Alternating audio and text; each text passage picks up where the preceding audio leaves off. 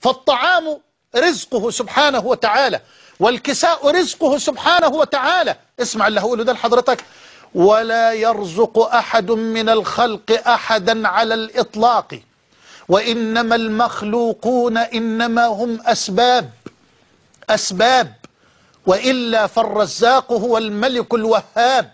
وما من دابة في الأرض إلا على الله رزقها. ويعلم مستقرها ومستودعها كل في كتاب مبين.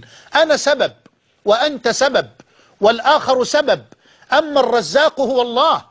الله جل جلاله هو الذي يرزق العباد ومن بين الرزق أن يهيئ الأسباب. فما من شيء في الدنيا والآخرة إلا بسبب. والله جل وعلا خالق الأسباب.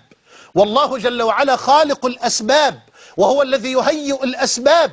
نعم قد يهيئ الله عز وجل لك عبدا من العباد ويجعله ربنا تبارك وتعالى سببا لك من أسباب رزقه من أسباب رزقه جل جلاله. فالرزق بيد الله وفي السماء رزقكم وما توعدون فورب السماء والأرض إنه لحق مثل ما أنكم تنطقون. جلس إبراهيم بن أدهم العالم العابد الزاهد ليأكل يوما بعض قطع اللحم المشوي فجاءت قطة فخطفت قطعة لحم وجرت فقام وراءها يراقبها.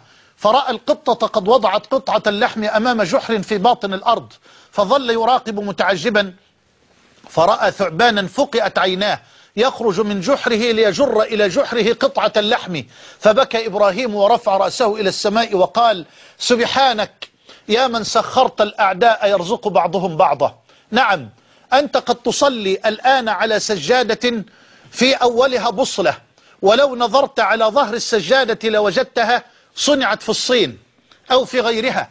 إن الله جل وعلا يهيئ العبادة ويسخر العبادة ليجعلهم أسبابا لرزق العباد بعضهم لبعض.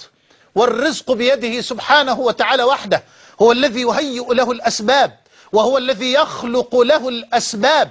فالله خالق السبب وخالق الأسباب وخالق المسببات وخالق الإنسان. والله خلقكم وما تعملون. ومن بديع من بديع ما قرأت أن حاتم الأصم الذي حقق التوكل على الله وقيل له يوما يا حاتم بما حققت التوكل على الله؟ قال بأربعة أشياء. علمت بأن رزقي لا يأخذه غيري فاطمأن قلبي وعلمت بأن عملي لا يتقنه غيري فاشتغلت به وعلمت بأن الله مطلع علي فاستحييت أن يراني على معصية وعلمت بأن الموت ينتظرني فأعددت الزاد للقاء الله عز وجل. فقال له رجل فمن أين تأكل يا حاتم؟ قال ولله خزائن السماوات والأرض ولكن المنافقين لا يفقهون. أنت ترزق يا عبد الله؟ أنت سبب. أنت لا تملك الرزق. الله جل وعلا يرزق الكفار. أفيرزق ربك الكفار؟ وينسى أن يرزق من وحد العزيز الغفار؟ لا ورب الكفر